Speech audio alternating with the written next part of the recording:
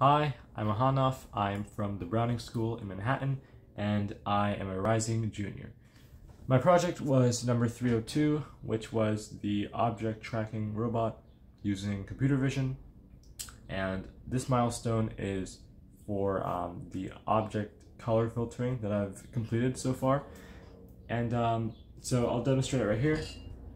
We're in OpenCV, and if I run my program, it should bring out three different cameras. First camera right here is the HSV version of my image. This is the original version and this is the masked version. So if I bring my um, object here, and right now the project is set to detect red color, and I've got my um, camera over here.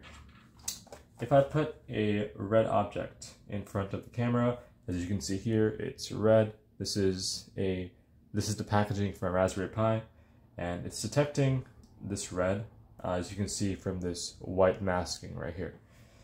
So basically how the project works is I have I'm using three main libraries. I'm using the OpenCV library, um, the Picamera library, and the NumPy library. Uh, the OpenCV library is used mainly to convert um, my RGB values to HSV, which is a type of color color grade that's used for uh, for um, detecting a range of colors instead of one specific color, and um, I'm using my the I'm using NumPy to set up RGB arrays, and finally I'm using Picamera or specifically Picamera 2 to give my OpenCV all of its frame values.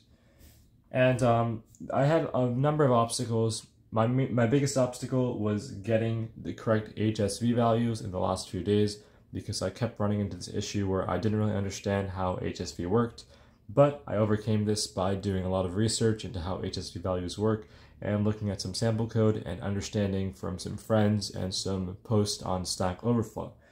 And yeah, that's about it. Thank you for watching and hopefully I can get this color filter camera onto my robot in the next few days.